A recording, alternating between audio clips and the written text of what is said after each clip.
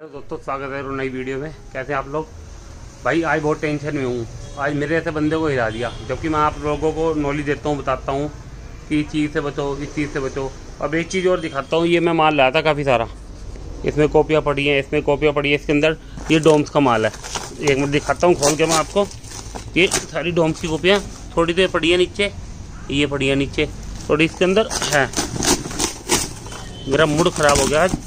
तो नुकसान हो जाए ना साला, ये है डोम्स की कॉपियाँ, ठीक है? ये दिख रहा होगा कलर, ये डोम्स का होता है। तो अब इन्होंने ये लोकल वाले हैं, वो लोकल वाले हैं, वो लोकल पड़ा है, वो लोकल पड़ा है। लोकल भी अब लोग बहुत मांगने लग गए ये सारा क्लास पेट है, वो डोम्स की पेटी है, फिर भी लोकल कम है और के मुकाबले, लेकिन लोकल रखना पड़ता है। अब बिल देखो, ऐसा बना दिया, मैं इसमें क्या समझूँ? ऐसा लग रहा है, एक मिनट। ऐसा लग रहा है कि डॉक्टर की पर्ची है। मेरे को आधा क्या, अब तक सिर्फ़ बीस परसेंट समझ आया, और जो बीस परसेंट समझ आया, उसमें मेरे को लॉस दिख रहा है। जो इन्होंने माल दिया है मतलब क्लास वेट का, वो बीस परसेंट पर लगाया मेरे को, जबकि मैं अट्ठाईस परसेंट पर लाता हूँ मार्केट से पच्चीस पे भी लाता हूँ। ये बीस पे दिया है। और मैं जल्दबाजी में फटाफट पैक करवा और आ गया बिल अब चेक कर रहा हूँ। और ये बंदा, ये दुकानदार मेरा फ़ोन भी नहीं उठा रहा मतलब अभी तो इस शहर का लोकल दुकानदार है, तब ये हाल है। और जब मैं दुकान पे जाऊँगा ना, इसी में फिर कहेंगे ओ भैया, ये गलती से लग गया। तो ये कहना चाह रहा हूँ, भाई साहब, बिल ज़रूर चेक किया करो। और सामान ना, जैसे इसने क्या कर रखा है, मैंने आपको दिखा रहा हूँ।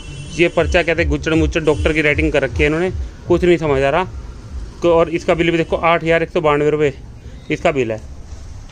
तो ये कहना चाह रहा हूँ, जब आप नई मतलब नई दुकान खोलो या पुरानी आपकी दुकान है, ये इकट्ठा सामान लेने जाते हो एक तो एक बंदा साथ में लेके जाओ, अकेले कभी ना जाओ सामान लेने।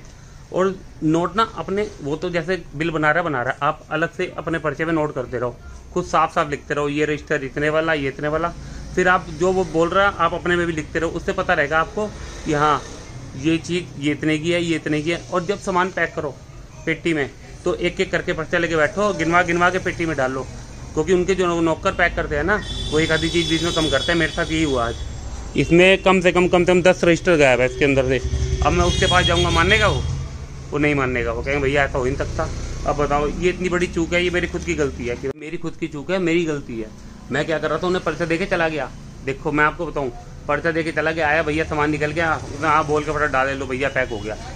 मुझे वहाँ बैठना था, और एक बंदे को कॉपी में कहता लेकिन ये चीज़ है, ये रजिस्टर दस वाले हैं, ये रजिस्टर बीस वाले हैं, वो ये इतने लिए, ये इतने लिए, ये लोकल वाले क्लासमेट डोम, सब लिखवाते रहो और पैक करते रहो, क्योंकि जब आप नई दुकान खोलोगे, आपके साथ ऐसा बहुत घटना घटेगी, और मेरे साथ दिल्ली में भी यही हुआ था, वो भी वीडियो बना के डालूँगा, लेकिन मेरे कहने का मतलब ये है, आप जो भी सामान ले, उसकी पैकिंग करवाते रहें, ठीक है?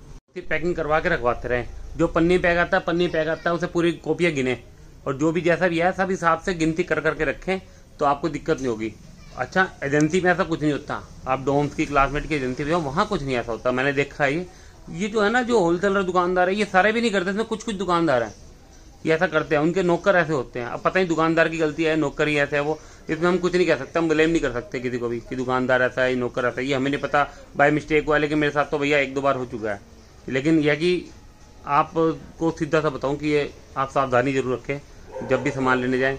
आप दो से तीन बंदे, दो बंदे तो हों, एक बंदा गिन गिन के निकलवाता रहे और कॉपी भी लिखता नहीं कॉपी पेन अपना लेके या वहीं से लो, उस पर लिखते रहो कि हाँ ये चीज़ है, ये चीज़ है, इतनी, ये इतने की है, ये इतनी चीज़ है।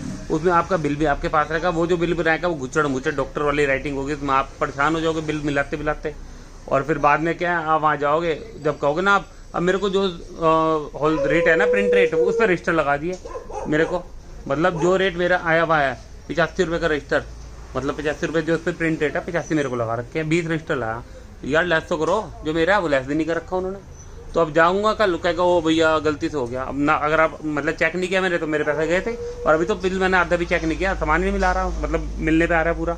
ना सामान मिल रहा रजिस्टर कम है इसमें अब रजिस्टर के लिए तो मानने का नहीं, ना कॉपी के लिए मानने का कि भैया, वो तो पूरी थी। ये चीज़ होती है तो बस ये चीज़ कहता हूँ अलर्ट रहो, आप सामान खरीदते पे, ये नहीं कोई सा भी सामान खरीदते जाओ, अपना मिला के लो भैया। बाकी आपसे मिलते रहूँगा, आपको साथ मतलब बताता रहूँगा जैसे जैसे वीडियो अच्छे लगे, चैनल को सब्सक्राइब करें, वीडियो को लाइक करें शेयर करें। बाय